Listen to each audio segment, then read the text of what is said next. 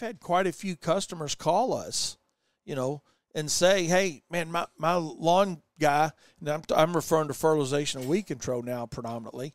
You know, uh, as I just the other day, one called me up and said, "Hey, I was with TruGreen. They raised my price twenty seven percent.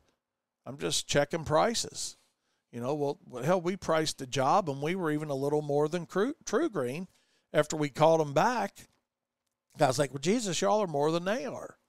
Well, sorry, it just is what it is. You know, I can believe that though. You know, TruGreen's buying all their products cheaper than we are because they're buying so much more of it. You know, so don't get hung up in that part of the customer carousel of those cancellations and saying, "Hey, well, I can do it cheaper. I'll be, I'll meet or beat TruGreen's price." BS that man. That's not right. Know what it costs you to do the job.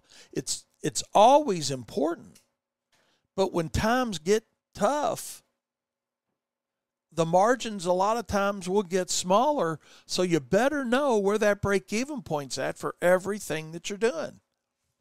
I mean, we got creative on some of our pricing this year for fert and weed something that we've not done in the past. You know? So we got to get creative. We know we want a certain margin.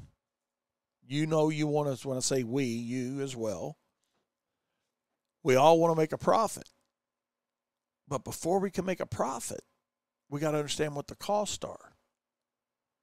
And again, that's why so many people fell out in 08 is because they didn't understand the business side of their business. They didn't know what they didn't know. And then that customer carousel came around where people, you know, everybody's riding it, you know, like at the fair or whatever, and the music is playing and everything's good as your little horse and buggy goes up and down around the carousel. But then customers begin to hop off because they got to make different choices. They got to make different choices. It's got nothing to do with loyalty or quality of work in many cases. But when everything's changing around them, and as far as expenses, we got to look at that. We got to look at that. You know, how do we fix it? That's what we got to ask ourselves. Well, how are we going to fix it? Why are your customers canceling? Is it really cost? and in this type of economy, it can that can be a legitimate issue, but sometimes it's it's not cost. But let's look at it from it being the cost side of it right now. You know, it's not that you get you've gotten greedy, but what you need to understand in this type of economy that we may be going into is something my buddy Tom Simpson used to talk about all the time. And he always taught me, he said, Wayne, he said, pigs get fed and hogs get slaughtered. And it took me a minute to understand what he was really saying with that. And Tom came with a, a, a farming background into the lawn and landscape business. And but he told me that quite a few times. He says, "Man, you got to have to remember, you know, I understand you like to make profit and all that, and so do I, and so does everybody else but pigs get fed and hogs get slaughtered. So I'm not telling you to change your pricing structure around. I'm just making a suggestion that you really understand what your costs are, where the break even point is. And none of us want to work for break even money. I'm not telling you to do that. That'd be the dumbest thing in the world to tell you because the need to make a profit is foremost the most important thing we do. But before we can understand our profit margin, we got to understand the cost. You know, the struggles are real and the struggles are probably going to be real. We've been very fortunate so far. Our cancellations haven't been that great. I mean, we're under 1% right now, which is really good for us.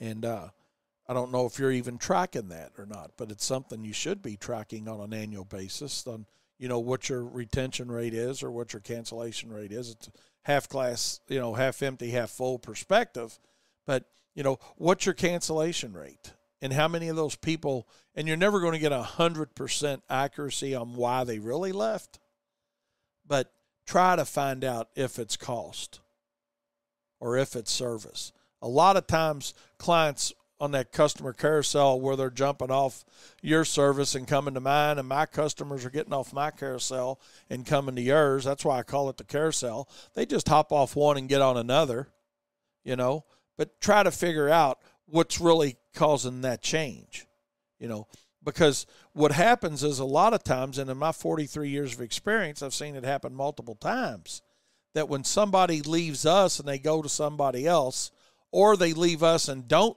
hire somebody else, you know, they're looking at that yard the first six, seven months, and the, it's still in pretty good shape, you know, because you had it in good shape.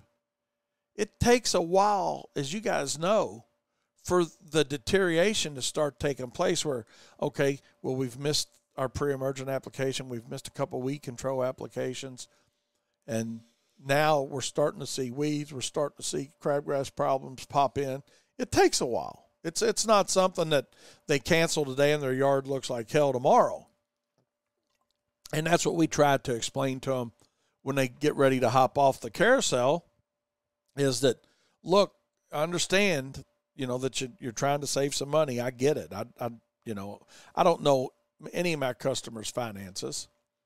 You know, I know what they tell us, but at the end of the day, I'm not meddling. You know, I don't know anything about what they've got and don't have, and you know where they're spending their money and what their priorities are. But I do know this that, and my dad taught me this a long time ago, and this is a this is a main takeaway for the truth bomb today on the customer carousel, and it goes back to convincing yourself first. But the reality of this is people have money to spend on what they really want to buy.